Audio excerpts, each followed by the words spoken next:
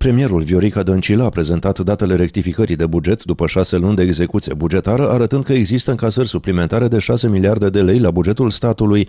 Totodată, produsul intern brut din acest an este așteptat să atingă valoarea de 945 de miliarde de lei. Primul proiect la nivel național care primește sume importante de bani pentru finalizare este drumul național 18 Baia Mare Sighetul Marmației Iacobeni. Potrivit unui comunicat remis presei de PSD Maramureș, sumele vor fi alocate pentru finalizarea proiectului pe toate cele trei tronsoane pe care se lucrează încă în Maramureș.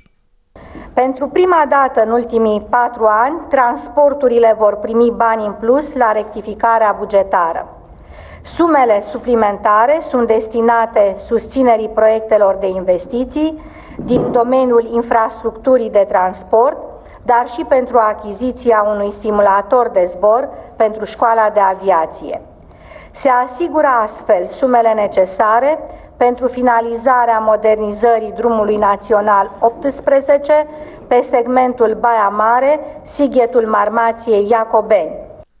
Stadiul actual al lucrărilor pe DN18 este DN18 Baia Sprie, Sighetul Marmației, 95% executat, DN18 lotul 1 Moisei Borșa, 65% executat și DN18 lotul 2 Borșa Șesuri, 70% executat.